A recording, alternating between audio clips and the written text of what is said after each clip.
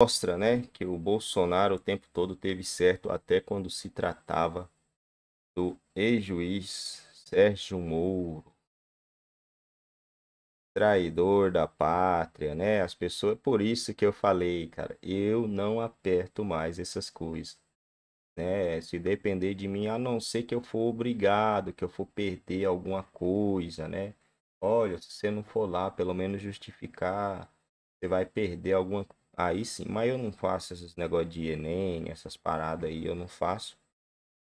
Não sei se tem, se afeta mais alguma coisa a não ser isso aí. Mas eu nunca mais, cara. Nunca mais. Depois dessa do Sérgio Moro, o cara que pagou de, de direita, que se elegeu, né, pagando de direita, fazer uma trairagem dessa, também a gente não sabe o que tem por trás, né? Não sabe se que teve por trás disso daí, se ele recebeu alguma ligação e tal, não dá para saber.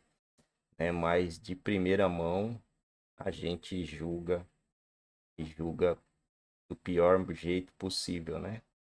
Não foi só ele, né, gente? Foram muitos, muitos vendidos ali dentro. Muita gente se vendeu, muita gente mesmo, muita gente traiu a nação brasileira por coisa pouca, né? Porque você é, traiu um país, uma geração, né? Não foi por quatro anos, por dois anos, por dez, foi uma geração praticamente. Uma geração foi traída por esses caras aí. Não é a maioria, não é generalizando, mas é a maioria.